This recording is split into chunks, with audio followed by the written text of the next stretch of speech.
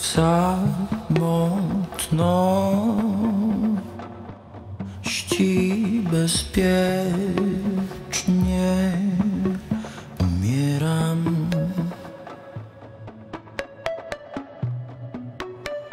Trudno zabić coś przed